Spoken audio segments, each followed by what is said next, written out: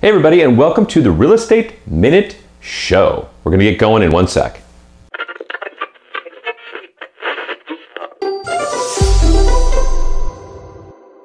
Hey, welcome back. Now, this is not a full episode of the Real Estate Minute Show. This is just an intro to the show. The first episode, the premiere episode, will air next week with the topic of selling your home fast and how to do that. And we have some information on that. The reason for the show is because we've been in this business for over 25 years now, buying and selling property.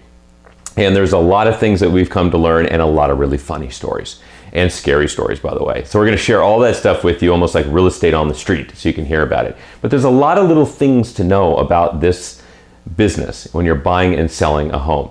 And you don't want to learn it on the fly because it just increases anxiety, it gets scary, and more importantly, it'll put your house and your profit on selling a house or how much you're paying for the house in jeopardy if you're learning on the fly. So, this is a quick weekly show under three minutes every time, very low commitment in that regard. I don't like long, dragged out events and things, so I'm. This is why this is under three minutes.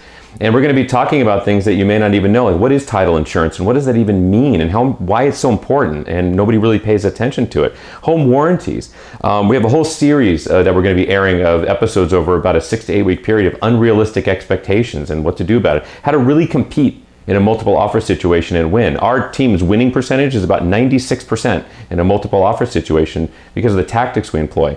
Um, selling your house fast and taking the first offer instead of waiting and waiting and waiting about a home on the market too long and the reputation of the house dying off. All these things, pre qualifications, lender terms, they're all really important. And most home sellers and buyers are learning these on the fly, and it can be really scary. So that's what this show is about. I can't wait to get to know you during these coming weeks, and uh, look out next week for the first airing episode. All right, take care, and uh, welcome to the Real Estate Minute Show.